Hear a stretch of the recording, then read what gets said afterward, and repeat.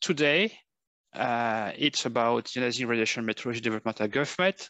There will be there will be four talks uh, as described here. I will not go into details because it's uh, the role of Reham Hamdi, which will be chair of the, of the webinar of today. And Reham is the CCRI Communication Working Group member.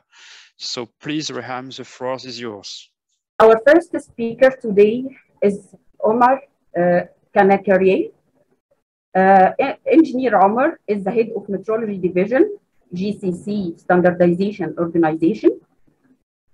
He received a bachelor's degree in mechanical engineer in 1984.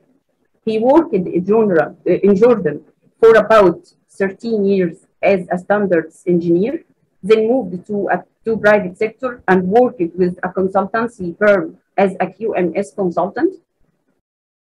Uh, he is an IRCA uh, registered quality management system lead auditor and certified technical auditor.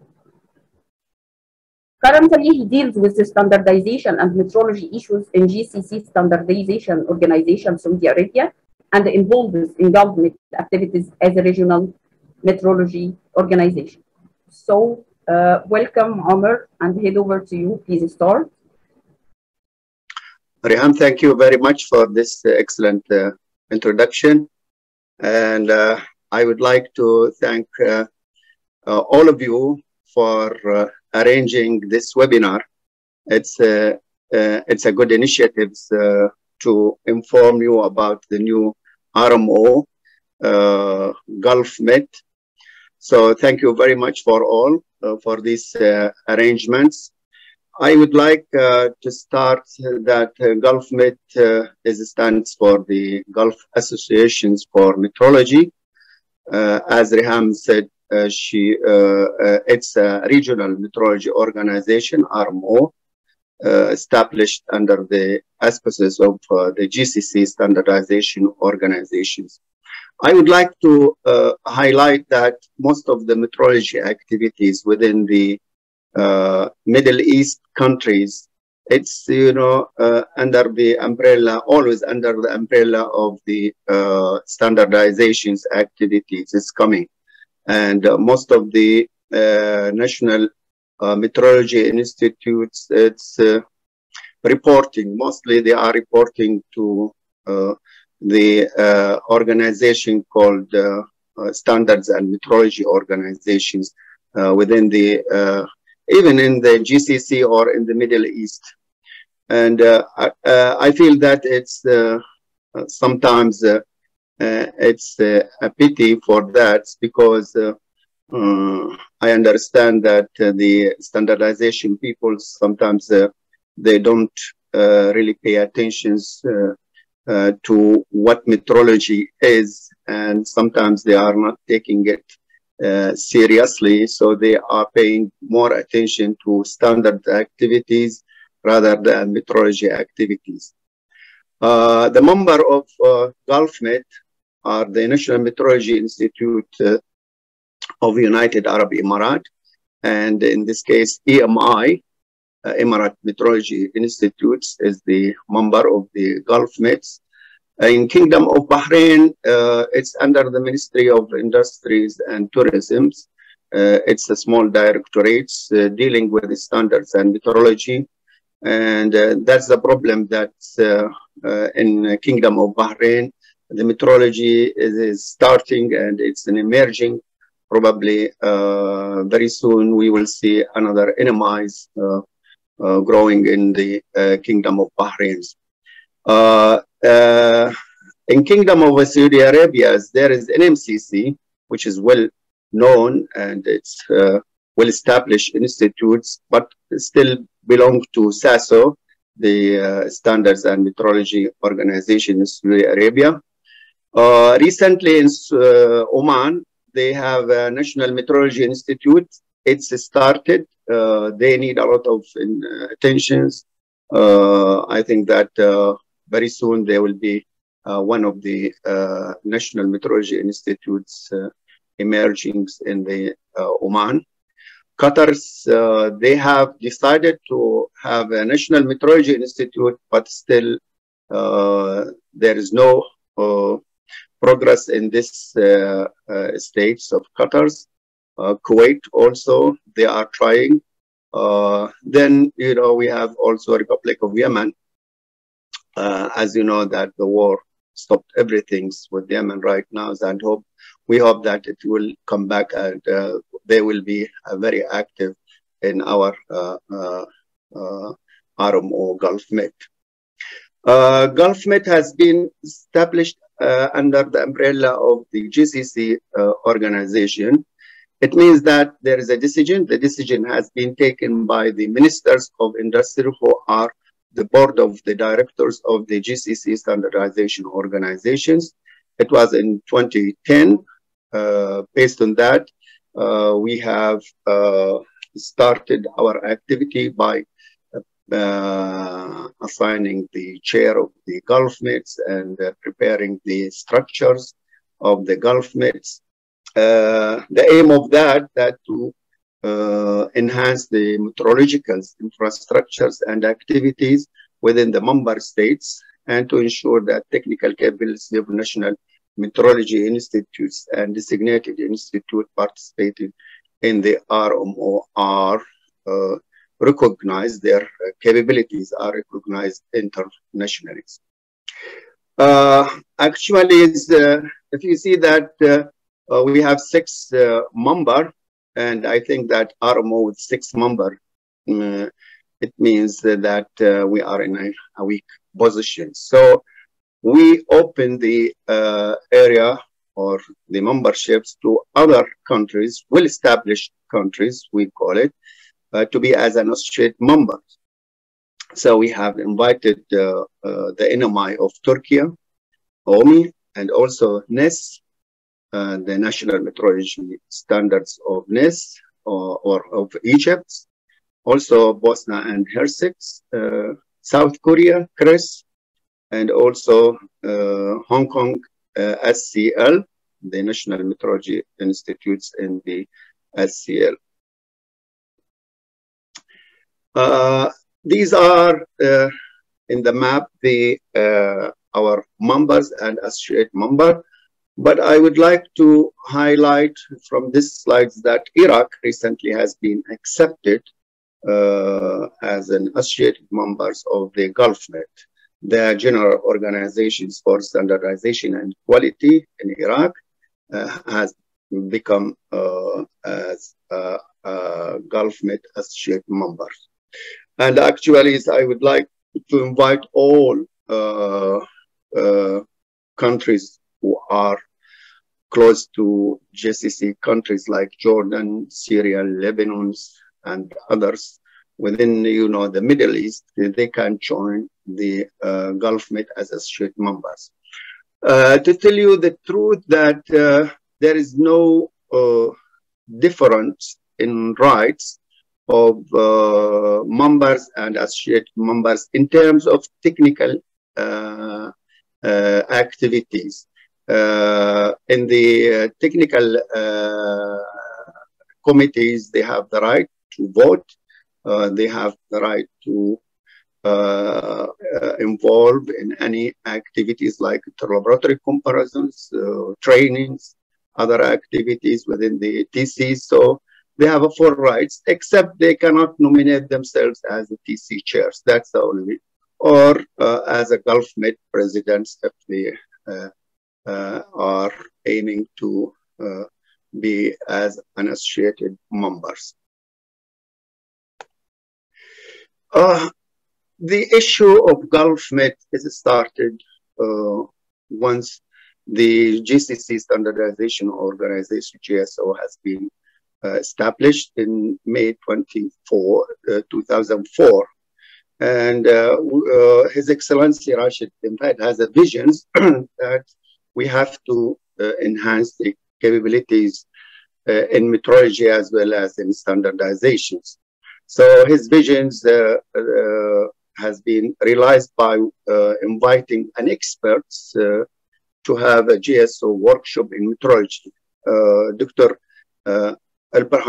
Uh, Zeiler. Uh, he was uh, known as an expert in metrology and he's worked with the third countries in metrology to develop. And he has a, a lot of, uh, you know, book, book uh, uh, issued in how to improve metrology capability. So we invite him to the workshop.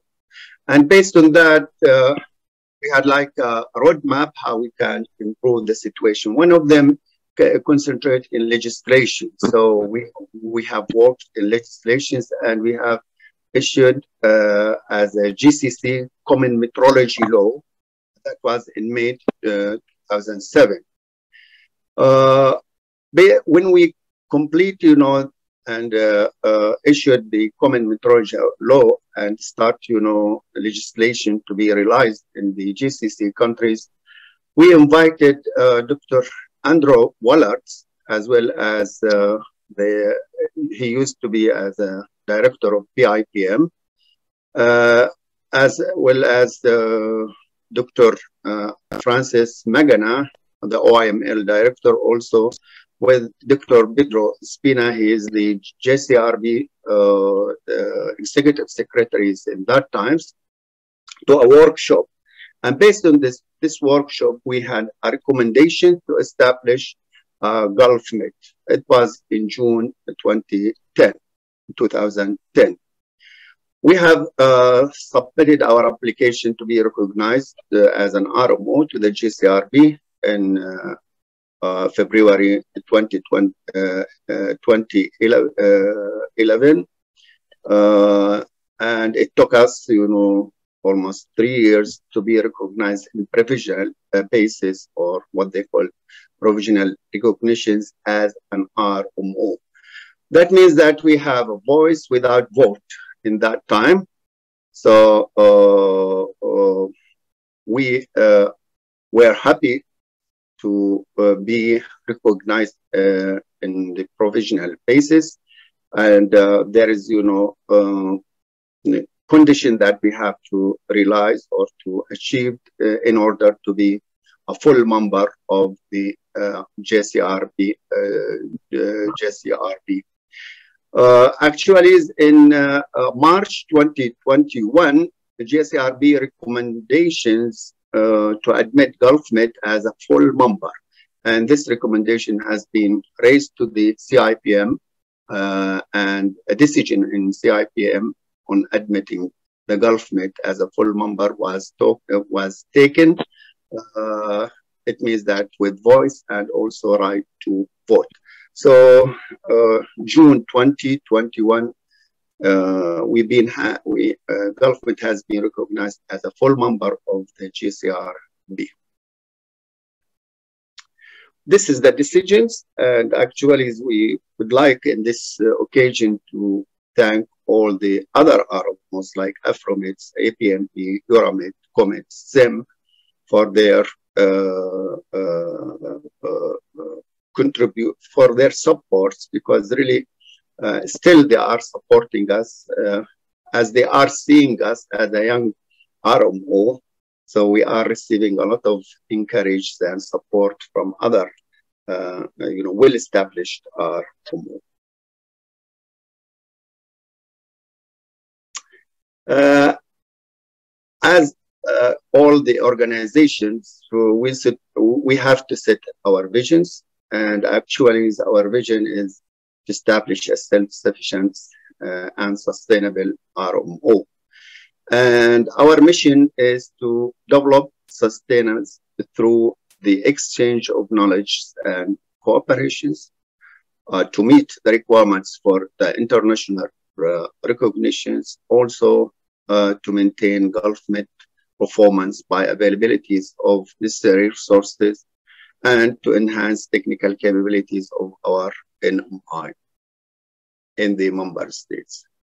This has come to uh, how we can realize our visions and missions.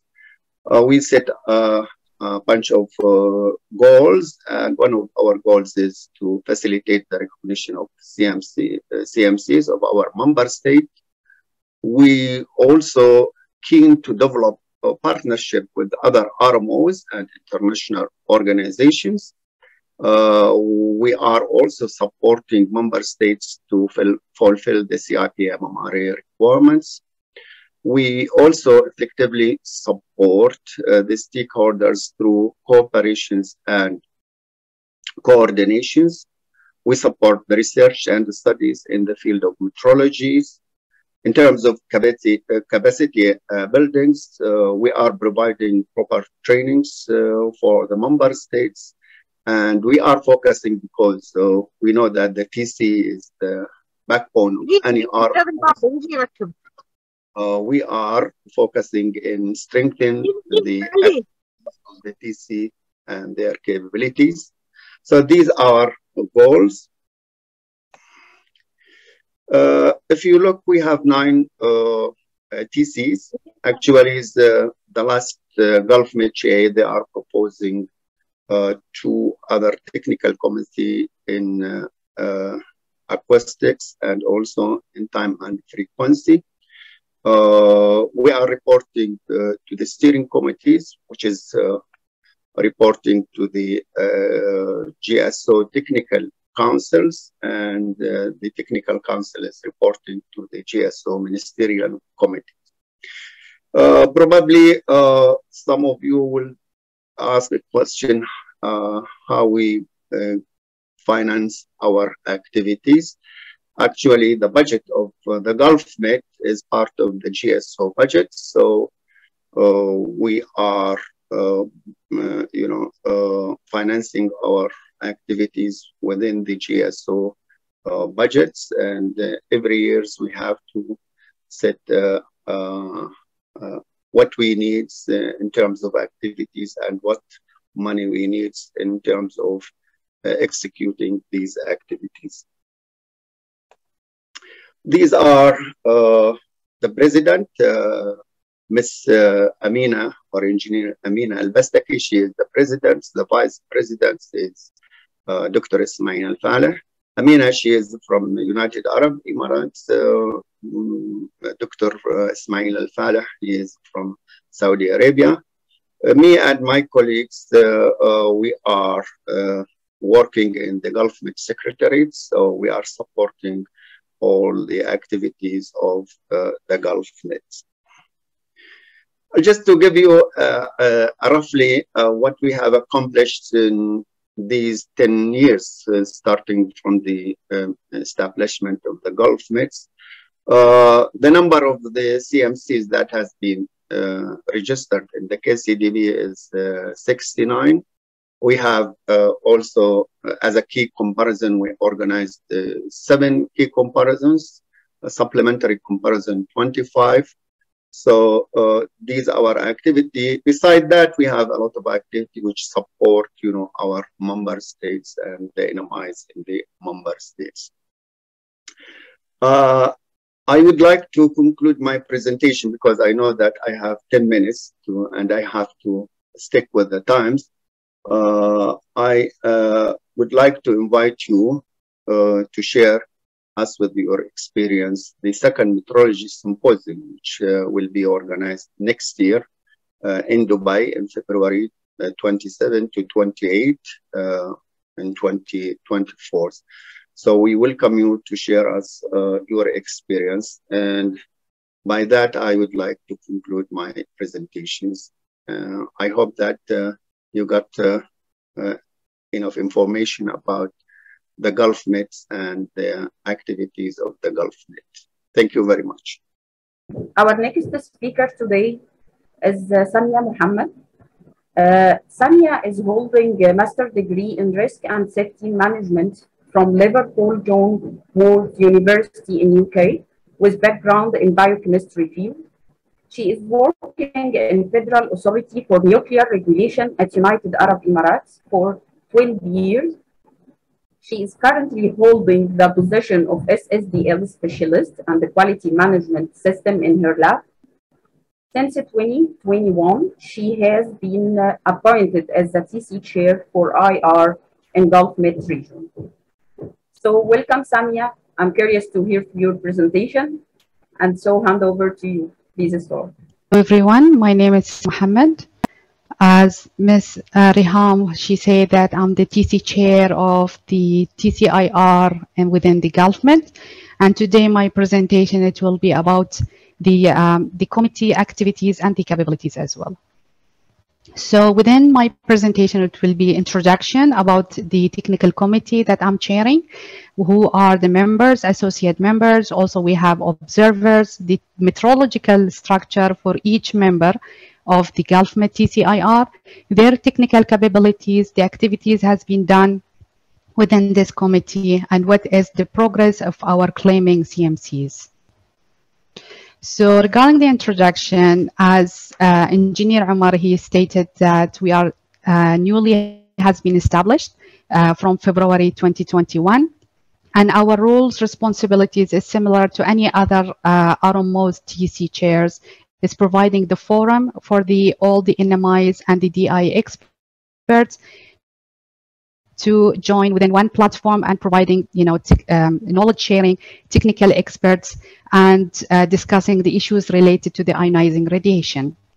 Our joint associate members are uh, from Turkey, South Korea, Bosnia and Herzegovina, and Egypt, and they are fulfilling their requirements or the rules through our uh, meetings, having a fruitful discussion regarding the technical uh, capabilities that we have. So also we are conducting or providing inter-comparison as technical evidence for our competencies and supporting the members in establishing their calibration me measurement capabilities. Um, last but not least, also we are providing technical review for the inter-RMO as well as the intra-RMO for the uh, claiming the CMCs. So currently the members of the TCIR is uh, from the six countries within the Gulf uh, region, which is from the United Arab Emirates. It is our uh, my laboratory or the organization I'm working with. It's FANAR SSDL. We have from Saudi Arabia three members uh, from three different laboratories. So we have a SASO from the National Meteorology Institute in Saudi Arabia. We have KACST. It, it is an SSDL found in Riyadh. Another SSDL, which is the King Faisal Hospital for the um, SSDL calibration service as well. We have the Kuwait Ministry of Health. They have also an SSDL for the radiation protection purposes. Um, we are waiting for the Kingdom of Bahrain to nominate uh, from their side so they can take the advantage and the activities within our um, the committee. From Qatar, we have the Ministry of Municipality and Environment. They are still in the designing phase to establish their SSDL. So it will be really a good opportunity for them to learn from our experience and to build their own SSDL. From Oman, we have two members, Ministry of Health, also as well as from the Ministry of Commerce and Industry and Investment Promotion. They don't have an SSDL, but their dosimetry service providers, as well as for radiation protection, um, they are taking the, the benefit from the our activities. So the associate members are Bosnia and Herzegovina. Uh, they have their NMIs. We have the Egypt, the metrology lab, also NIS. We have the South uh, Korea, which is KRISS, their National Metrology Institute, as well as the Turkey TENMAK as designated institute for the, um, the ionizing radiation. The observers that we have it, they have joined recently after our collaboration with the IAEA um, Arasia region that they are allowed to participate in our committee only as an observers. So they are guests in our meetings. They don't have a right to vote, but they are welcome to participate in our trainings and comparison as well. But unfortunately, even if the, the report of comparisons has been published, they cannot claim their CMCs if they are not being um, nominated as designated institute. So the, the observers are, we have from Jordan, we have from Uzbekistan, Iraq, Lebanon, Syria, as well as Yemen. The meteorological structure for each member, I will start it with United Arab Emirates. As you can see here, that MOIAT, the Ministry of Industry and Advanced Technology, it is the delegated authority within the United Arab Emirates, uh, which is the focal point for the Gulf Met, and they have nominated uh, FANAR as the designated institute for the ionizing radiation. MOIAT, they have a department called Metrology Department, which they are responsible for the legal metrology division. They do verification and working under the direct supervision of MOIAT uh, to do the verification for the legal control. Um, the other, uh, we have accreditation bodies, which is two within the United Arab Emirates. It is ENAS as well as EAC. And they are in co collaboration with the, um, the Ministry of uh, Industry and Advanced Technology. FANAR SSDL as designated institute, it is traceable to the IAEA and IAEA also traceable to the BIPM. Our National Metrology Institute, it is called EMI, which is shortcut for Emirates Metrology Institute. So they have all the kind of metrologies in other fields and not in ionizing radiation. FANAR SSDL, they are responsible as the designated institute in the ionizing radiation. The metrological structure for Saudi Arabia, I will start with the KACST SSDL. Um, they are traceable to the IAEA and their delegated authority within the Saudi Arabia is, is called Taqyis. Uh, they are holding the legal metrology authority, which provide verifications for the measuring instruments subjected to legal control.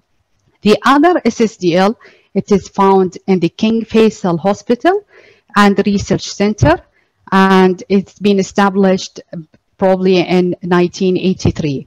The National Metrology Institute, it is SASO uh, for the other metrology fields other than ionizing radiation. These, the uh, King Faisal Hospital, SSDL, they are tra traceable not only to the IAEA, but to the multiple primary laboratories such as NPL, NIST, PTB, and NRC as well.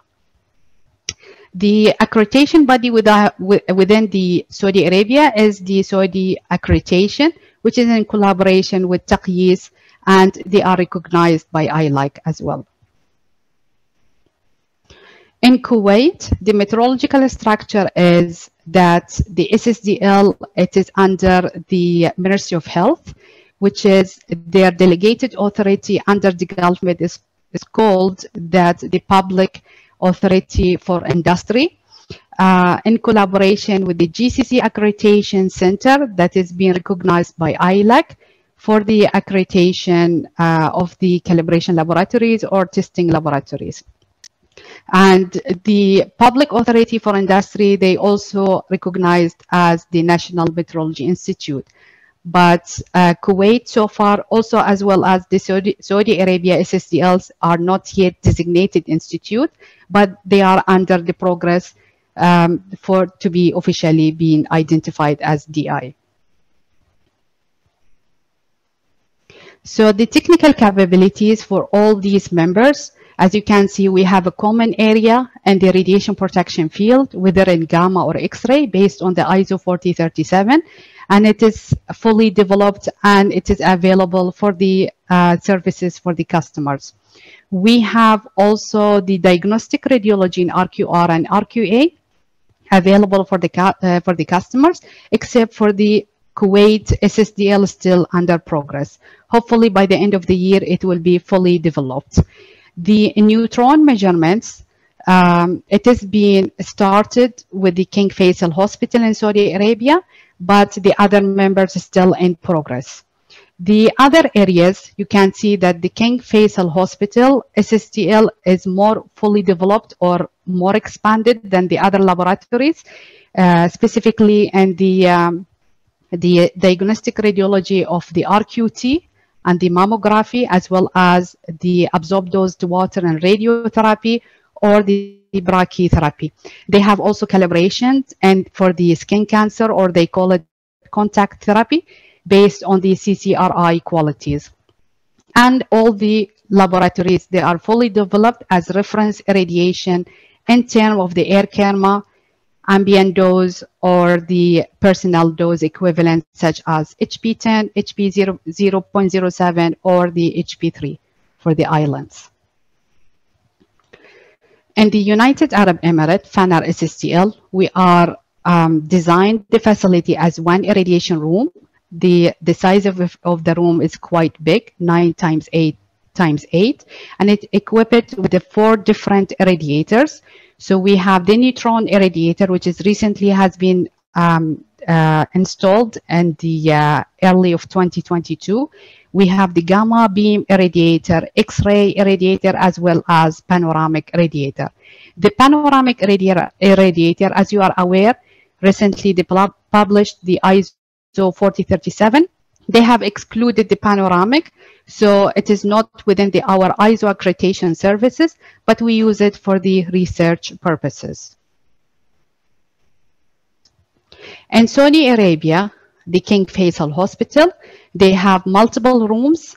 Each one of them is separate with uh, uh, each radiator. For example, we have a room with gamma irradiator uh, with six sources of cesium and one cobalt sources. Uh, we have the second room is with the therapy unit um, with the cobalt source and they have three different reference chambers and electrometers for this purpose. They have a contamination meter as well, neutron irradiator, brachytherapy unit, as well as two uh, X-ray tubes within one X-ray system, which is they use it for radiation protection, diagnostic radiology, as well as for the therapy level. And the Saudi Arabia, the other SSDL, which is belong to the KACST uh, SSDL. So they have two um, uh, radiation rooms. One of them is occupied by, in parallel, with the gamma irradiator as well as X-ray. And they have a shared control room for this one.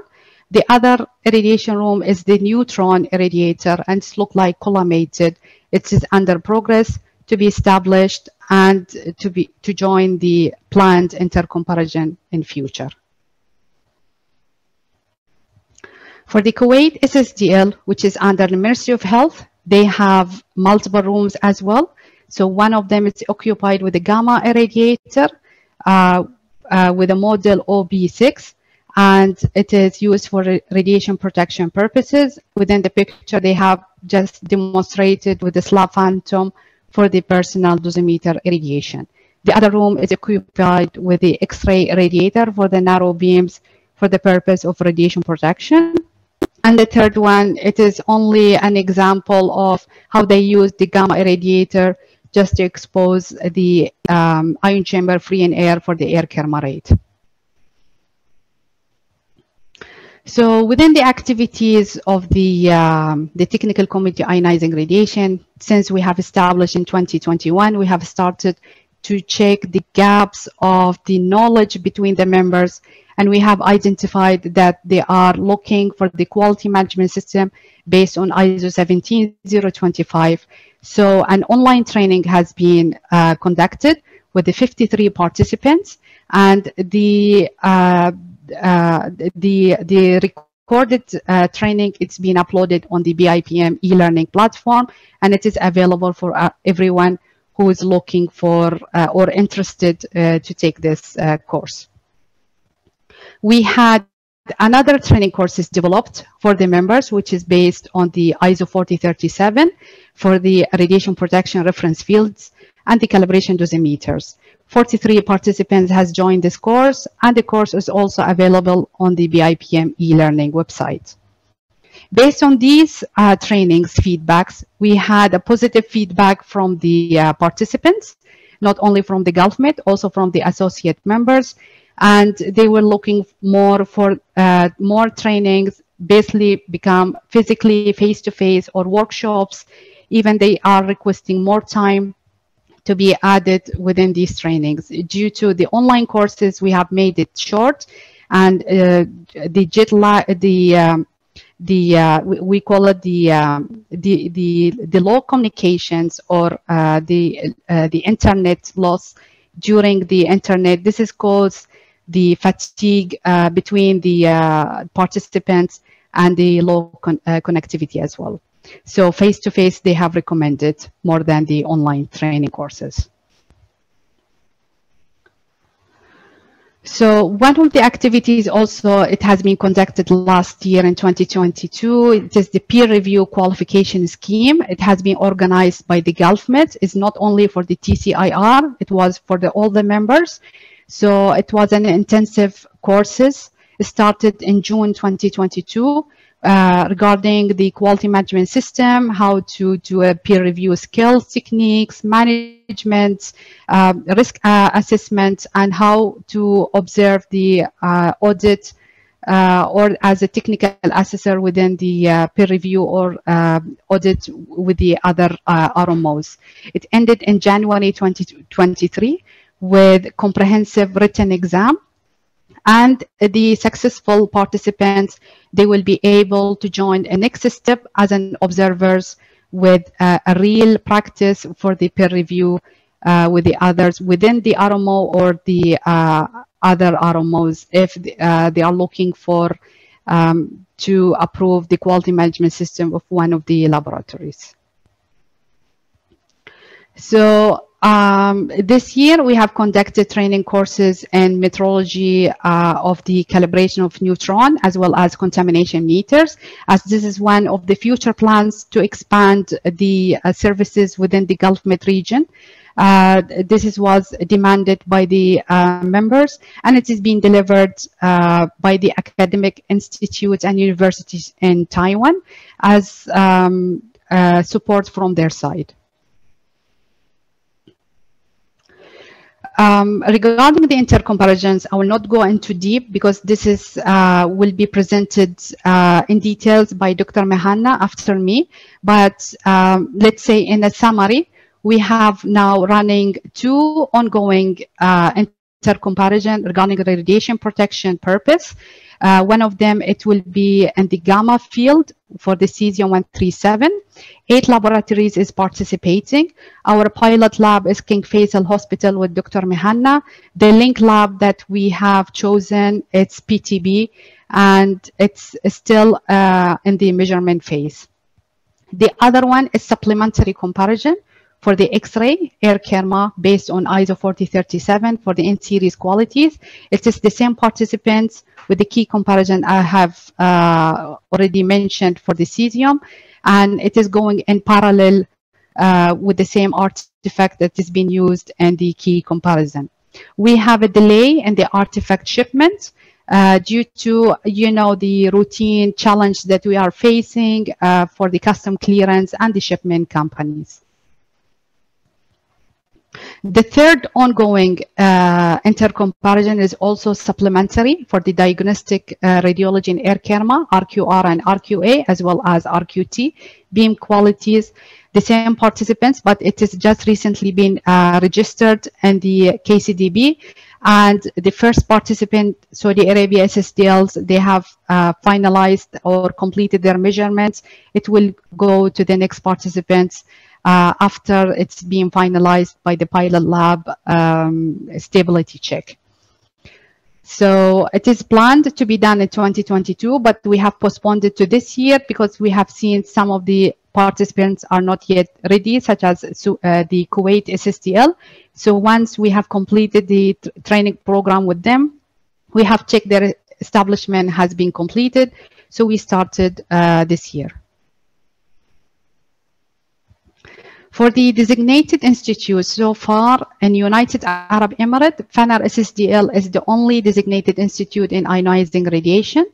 Two labs from Saudi Arabia, they are requesting to be nominated, uh, but one of them will be for the radiation protection and the other one for the uh, medical um, purposes. Uh, so they recently they have the ISO certificate 9001, but they are looking forward to be granted with the ISO 17025 that concerns the quality management system for the laboratories. The members and observers um, are also members of the IAEA WHO network. So that's why we have a collaboration with the observers to attend our trainings and the comparisons as well. For the CMCs, so far, there is no CMCs has been established until now within the Gulf Met region, but hopefully the United Arab Emirates SSDL will achieve successfully because we have our technical comparison report uh, as a bilateral uh, intercomparison with the IAEA uh, to support our CMCs. We have recently, um, you know, presented our quality management system to the GulfMet TCQS uh, that has been approved, and we have also our accreditation scope has been granted based on the CIPM MRA uh, requirements, the guidelines with the technical assessors, and it's been given by the um, the uh, uh, one of the accreditation bodies within the United Arab Emirates, uh, ENAS.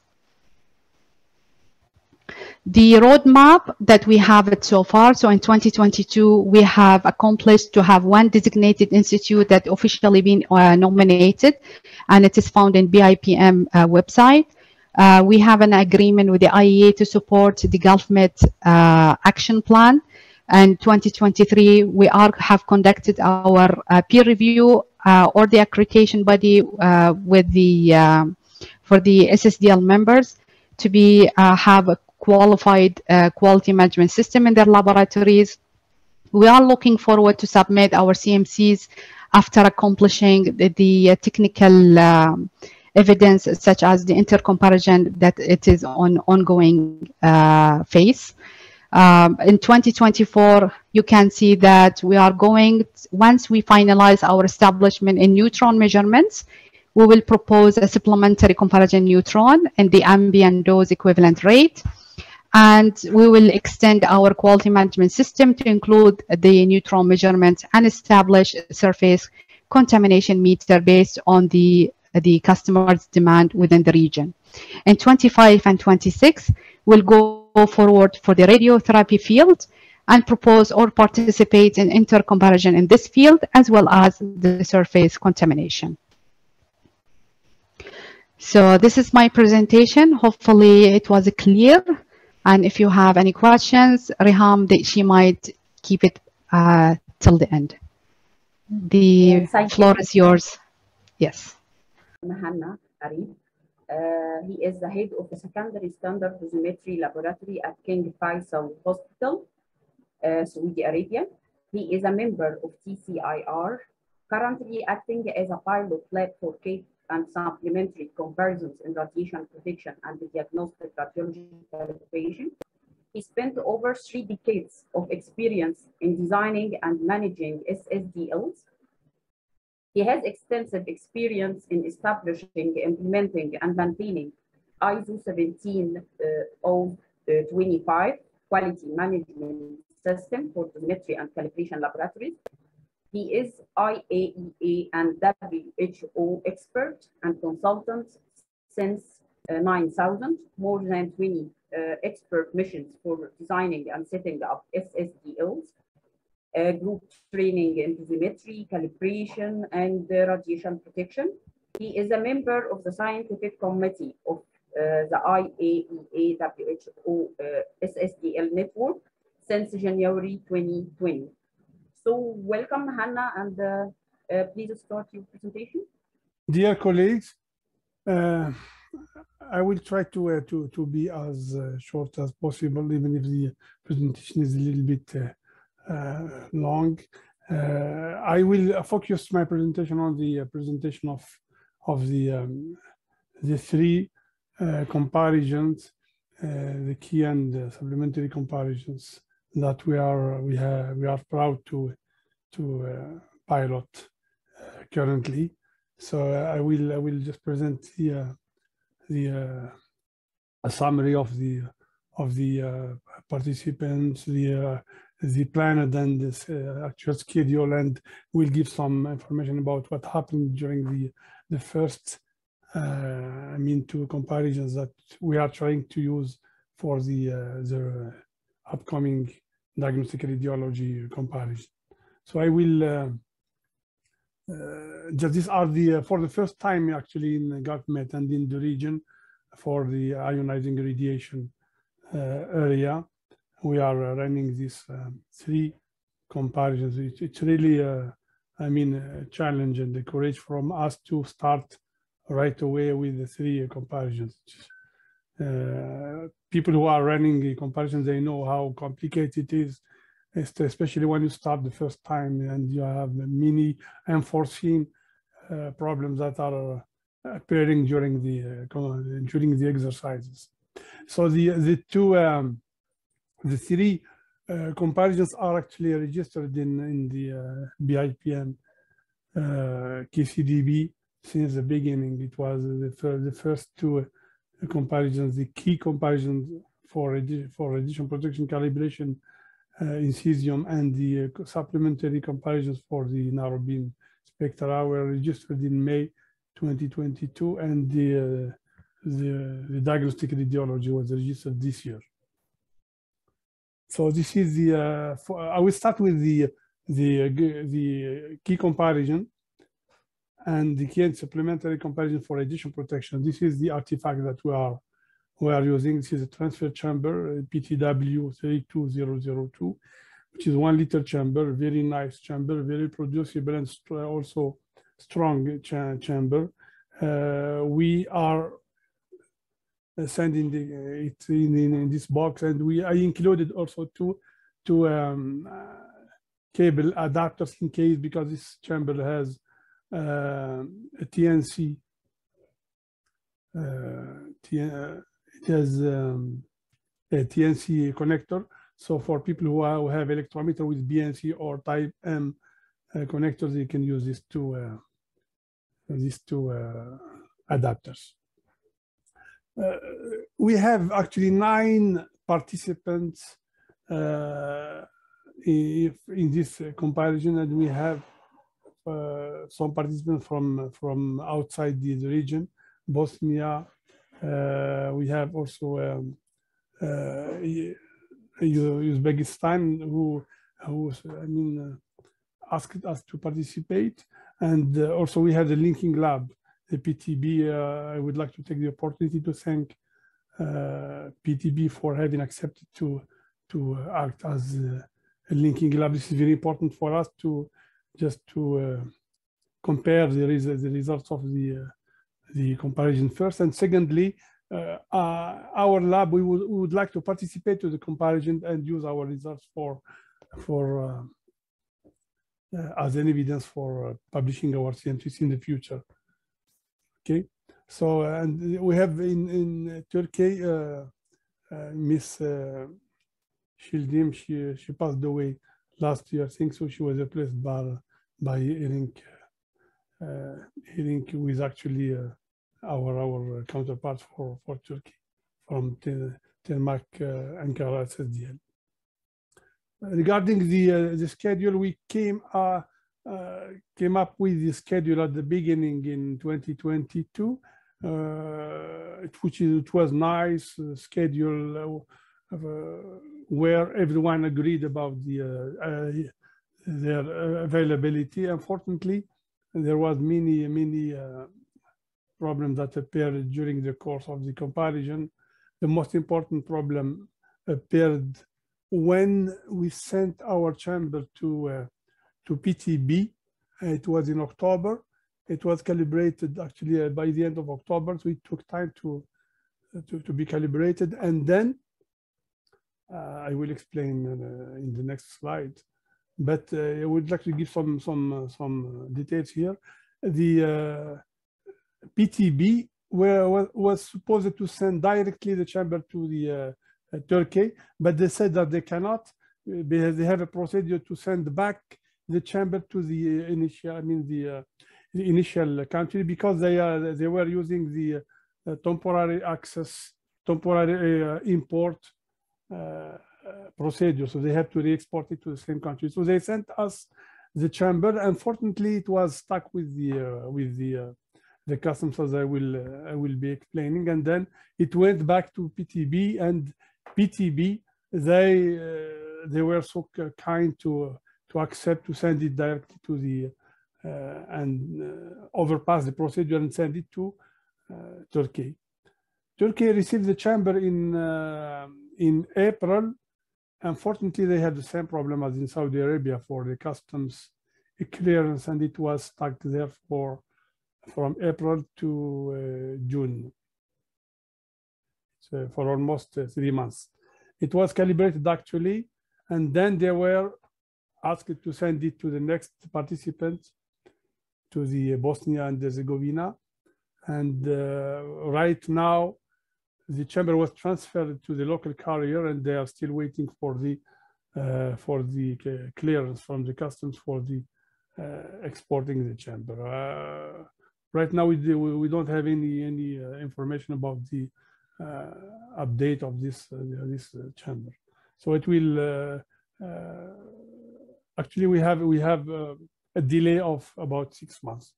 It's a pity, but we couldn't avoid this kind of of problems. So these are the chronology of events and lessons learned.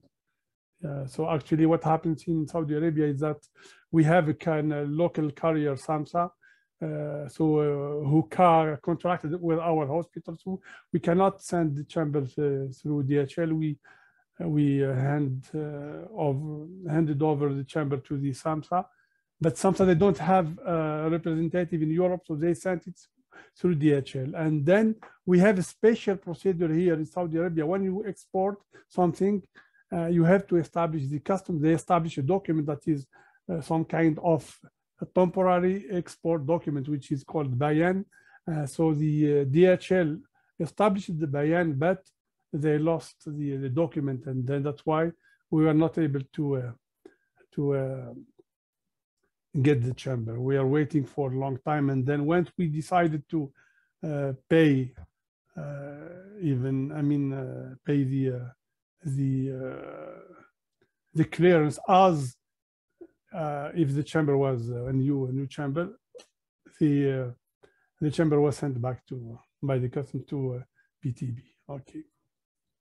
So the lesson learned is that uh, first of all, we asked the government to provide us with uh, an official designation of, of our SSDL as a pilot lab. It, it may help uh, with the customs if we have such a document. And then we, uh, right now, we decided to always request the bayan when the chamber leaves the uh, Saudi Arabia. So, uh, so that we can keep the document with us and distribute it to the participant and ask them to send it back with the document. Whenever something is not available uh, in, in, the participants country, please, uh, we ask them to send it back through the DHL because they know DHL, they have very nice procedures and they know us because previously we were contracting, we contracted with them so they know us and keep uh, the document uh, all the time with the with the artifact whenever you send back the chamber to our lab. This is the uh, instruction that we are sending to the participants. Regarding the uh, intercomparison itself, so we uh, worked, we uh, drafted a very nice uh, technical protocol that was distributed to the participants for, for their review. And then we, uh, these are the two protocols. We Initially, we started with one protocol, like a comparison protocol, and then BIPM, um, I mean, the, the advised us to split this into different uh, uh, protocol, I mean, comparisons. One key comparison because we are we have already the uh, the key key comparison in the database. And one supplementary for diagonal for for the radiation protection narrow beam spectra. These are the beam qualities that were selected among the the all the energies. So we have the cesium and you have the N40, N80, and 100 and 200 and 300. We actually use the same protocol, the same uh, beam qualities uh, that were used by the IAEA uh, comparison protocol. So just to keep in the same loop, the same uh, procedure. Uh, coming to the to the um, to the pilot lab, uh, we would like to give some some results or some information about the the our lab. This is the which was well well uh, explained by uh, by uh, Samia, by the way. So this we have two irradiators actually. we we used the the old irradiator as we were familiar with with that, and we had performed many measurements with that. We have different cesium sources. Uh, the first one was in, was upgraded in 2014, and we purchased a new irradiator with four, three, five Curie cesium source. So the for the X-ray, we have also an old X-ray source that was uh, Uh, upgraded in uh, in December 2021. Now we have a very nice, very uh, uh good X-ray, which uh, includes the the collimators, the the monitor chamber, and we have also here the this part here. This is for the this one. This is for the inherent filtration when we use the narrow beam spectra. Yes, and then the in, when it comes to the irradiation geometry, it is uh, actually included in the uh, calibration uh, calibration appendix that we, we issue when we calibrate ionization chambers. So we, we use three meters actually as the reference uh, distance. Uh, currently, we are switching to two, two meters and, uh, and have to be compliant with the ISO 4037 and when it comes to the, the conversion factors.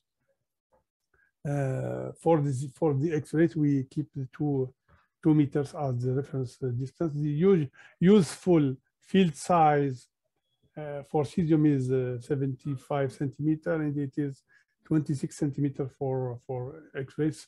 The uh, useful field size is large enough to cover all the chamber during the, the calibration. This is an example of, of field size for, for X-rays. it's around 28 to 26. Yeah. Uh, and then uh, this is actually the uh, comparison uh, report that we sent to all the participants. We are we asked them to to fill in this. Uh, I mean to report the the uh, measurement of the calibration results using this template. It is in Excel, and it includes all the uh, information that will allow us to double check the calculation in case we have any problem. As explained in the pro the uh, comparison protocol, if we, if we found if we find any any problem in the uh, calculation, we ask the the uh, lab to review the calculation, and uh, sometimes we can also ask them to repeat the calibration. But we actually, think, as described in the protocol, we ask them to calibrate twice and report the results, the average results of this to calibration. We ask also, we ask them to report or to send us uh, their uncertainty budget, which is needed for the uh, for the uh, evaluation of the uncertainty. Uh, let me give you some examples of the QA QC. I will not present all the, the results here, but just give you an example of, of check source measurement. So the chamber is undergoing uh, check source measurement. We position the uh, the uh, cesium, sorry, the strontium 90 uh, source over the chamber. We keep it for 24 uh, hours just to start to get stabilized and then we perform the measurement for a very long long time using a data acquisition system that can collect the charge the temperature pressure and then we we have here to uh, the results for the reference chamber in two dates and we uh, whenever the chamber is back to us we repeat the same measurement and we this is uh, the first uh, in quality indicator of the good status of the chamber. Yeah. So this is the reference chamber, and this is the the uh, transfer uh, transfer chamber. Uh, yeah. Now for the uh, for the supplementary comparison for diagnostic radiology, also we have quasi the same participants. As the only participant who left this comparison is uh, Jordan. So they asked us to, uh, uh, they said that they are not able to participate because they didn't establish yet the diagnostic radiology beam qualities. So we keep this, if if they have the chance to establish the diagnostic before or by the end of this exercise, we can just uh, allow them to, to join again to this uh, exercise. So this is the artifact that we selected. It, it's the uh, standard imaging A3 uh, spherical chamber, very nice uh, chamber. Uh, initially, we were planning to send two chambers, the A3 for RQR and RQT and A4 for RQA. Uh, but we uh, got, I mean, advice from the PTB friends. They said that they can, we can use the this chamber for both all qualities. So we keep we kept this chamber just for for uh, for all the beam qualities. Uh, this is the uh, the protocol, and this is the actually actual schedule. This is the initial schedule. Actually, we were supposed to start in May with the quality QA QC measurement in uh, in our lab and the calibration in our lab. We actually we it took it took about uh, three weeks extensive measurement, extensive calibration. We repeat. Actually, we calibrated this chamber for all the beam uh, qualities, RQR, RQE, and RQT, and then uh, we repeated the uh, the, the uh, calibration three times using three different staff members. I mean, different just to to double check the uh, the result. We we we got very nice uh, consistency between the, uh, the measurement, and then we sent the chamber to our colleague colleagues here in Riyadh. It's it's not that far, so they did the measurement also in in in July. Uh, we were supposed to send the chamber to uh, sorry, not to Jordan. Yeah, I think this is the old version. This is actually to um, to Kuwait. So it was supposed to go to uh, Kuwait in June, we had uh, uh, Uh, because of the uh, the holidays here, we had to we had to postpone the chamber, and we have we still had the problem with the SMSA, uh, who came up with another procedure uh, asking us to give an authorization to the from the hospital to SMSA to export the chamber. So we had, and because of the holiday, which uh, which lasts last, I mean, uh, last 10 days. So uh, the chamber was actually sent yes yesterday. So now it's on the way to the uh, to the Kuwait. So if we, uh, because of this this uh, shift, and uh, because of the problem that we are still having with the with the SSDL of Turkey, right now we, we don't have any idea about the behavior of the chamber, was it exported or not. so it, it, it took over three months just to uh, to get uh, cleared from the customs. We prefer to postpone the the Turkey to the to the end just to avoid delay, additional delay for diagnostic radiology. We don't want to to to run this this um, these comparisons for forever. We would like to finalize the comparisons, uh, finalize the report, and get our colleagues getting their uh, comparison certificates and publish their CMCs. So hopefully, uh, if everything is is uh, is good, we by the beginning of 2024, we will have inshallah our our diagnostic radiology and radiation protection over. These are the beam qualities that we select select RQR2, RQR5, and RQR10. Uh, many people are asking me why we selected the RQR4. This is uh, this quality is known for many many X-ray tubes as not really stable, but we wanted to keep it just to to see if there is actually uh, any any uh, problem dealing with the this low energy uh, low lamp beam quality. Uh, so we did our measurement. We don't have any problem in our our our uh, our lab. Yes. So this is the geometry. So we uh, uh, we use the uh, the uh, focus to chamber distance as one meter, and the useful field size here is 10 centimeter. So we have different collimators. We, we selected the collimator that gives. This is just an example of uh, beam profile obtained with using a Gafchromic.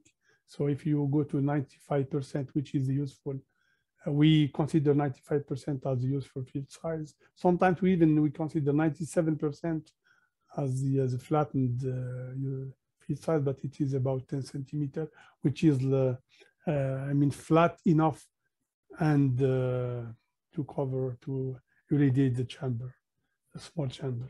Yes, when it comes to the measurement with RQA, we get we get lower uh, signal, which is about picocoulomb, 10 to the minus 12, minus 11. But we have very nice reproducibility of the measurements.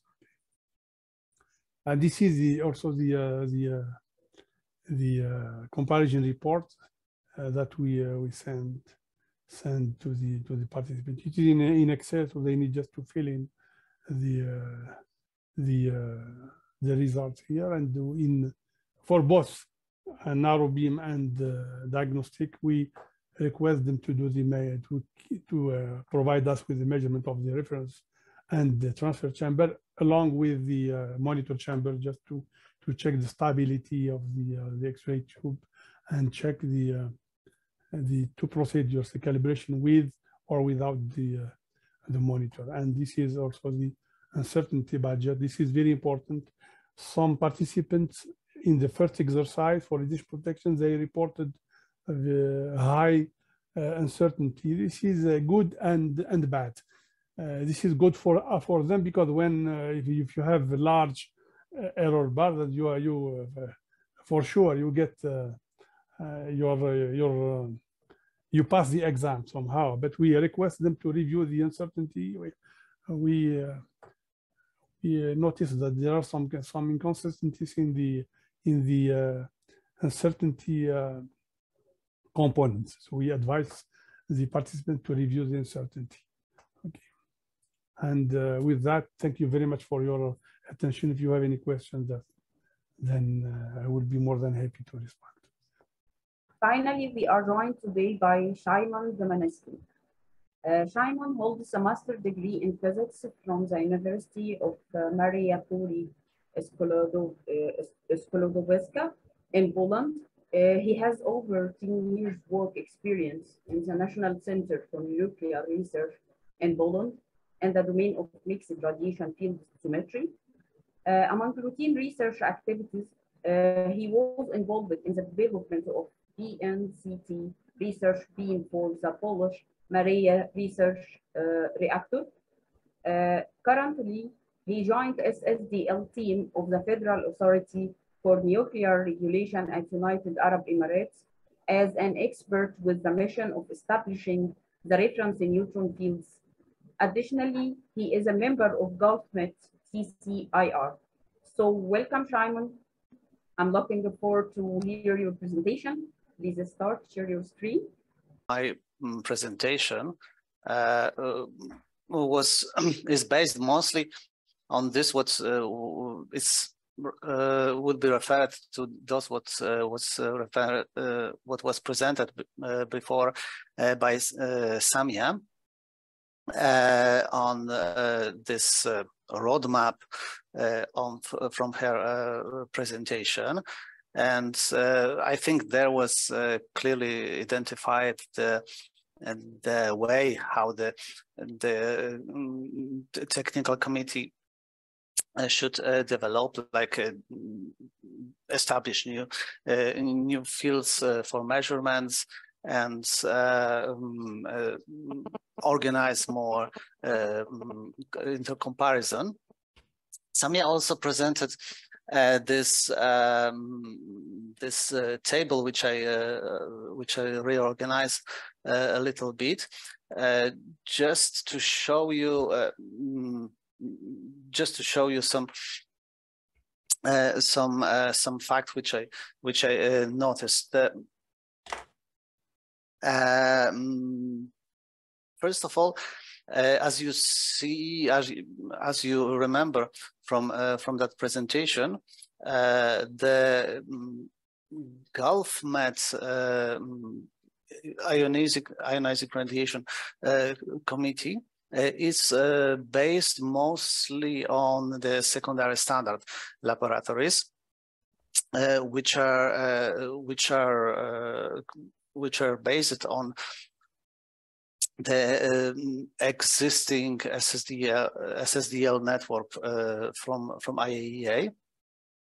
So uh, there is, uh, and SSDL existence is the main goal of SSDL laboratories is to provide the services for for end users. So um, they, uh, they, they have to uh, provide uh, calibration services for in the fields of radiation protection and the fields of diagnostic radiology or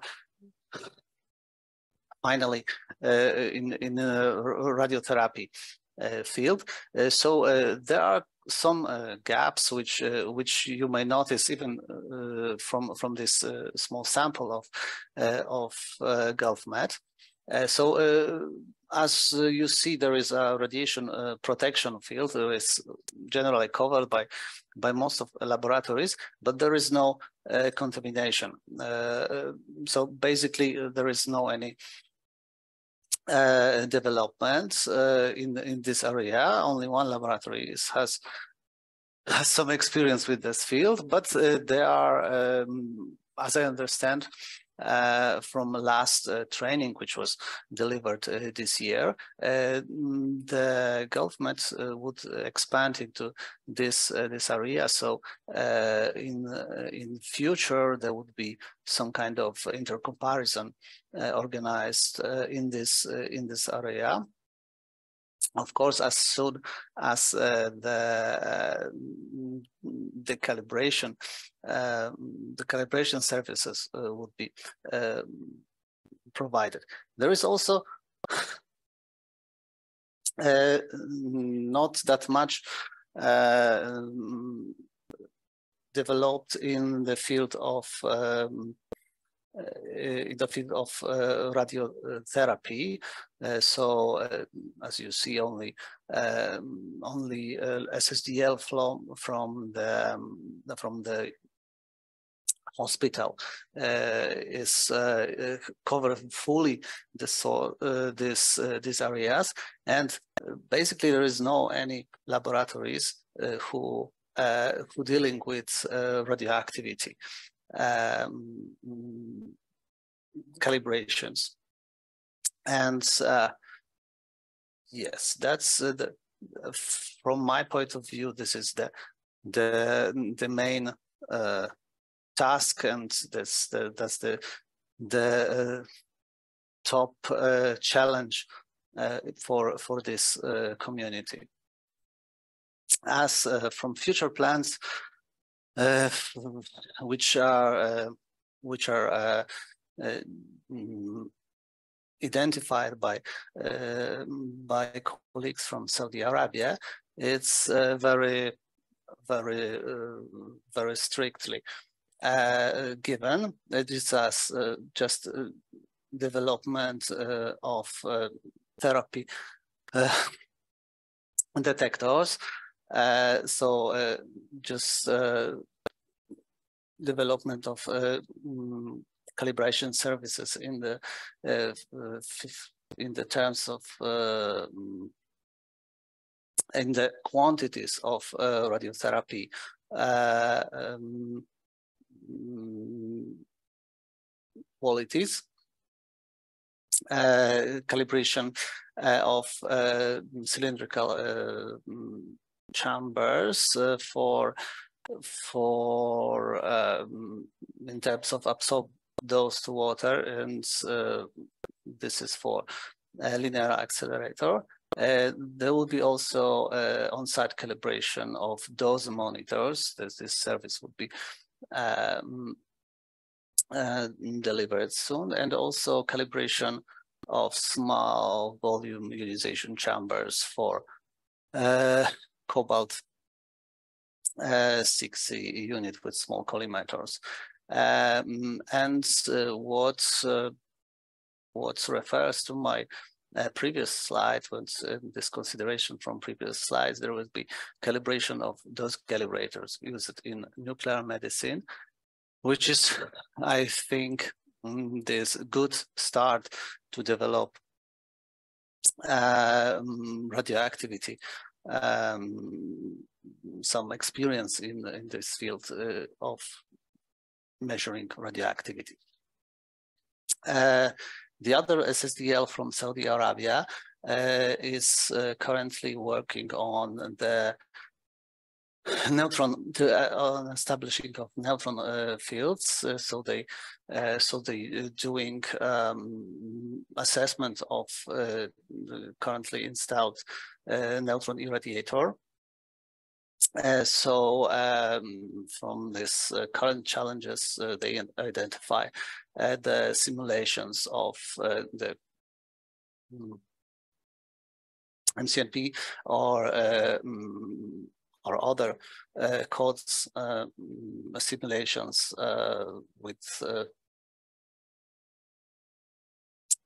which allows them to identify the parameters of the of this beam. from our side in the UAE, we are currently planning uh, to start um, with services of um, calibration of uh, not surface sources, uh, but uh, calibration of uh, contamination meters by using oil of uh, surface uh, sources. and our current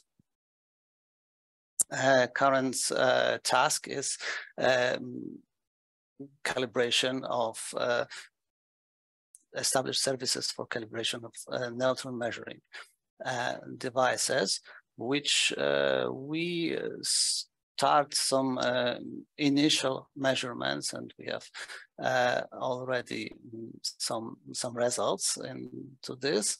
As uh, Samia said, and it's visible on here on on the uh, on the picture uh, below, we have a panoramic irradiator uh, with a measurement source, uh, and uh, we have to, uh, in order to establish all parameters of the field, we have to characterize the first the, the, neutron source, so establish the source emission, source emission anisotropy, neutron, do some neutron spectrometry, uh, for the source.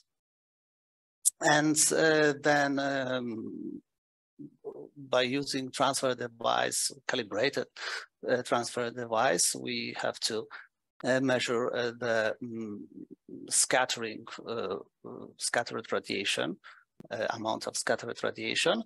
And this result of this this measurement is visible on the on the graph above as you see, uh, the 40% is uh, mostly reached uh, somewhere, uh, somewhere near two meter, two, two and a half uh, meters. So uh, this would be the useful length for our calibration bench. The next task which we uh, which we're dealing with is uh, um, provide numerical modeling uh, of, of of this whole uh, of uh, whole parameters which we measure and measured already, and compare uh, this results this result from numerical mo modeling to to this experimentally um, games uh, results. And uh, well, yes, that's uh, that's something what we are currently struggling with. that's what we see as as challenges. And why we're we doing this? because uh, because uh, knowing the uh, the exact parameters of our fields allow us in in the future, in in, in the next uh, few years, organize uh, into comparison for the for this region.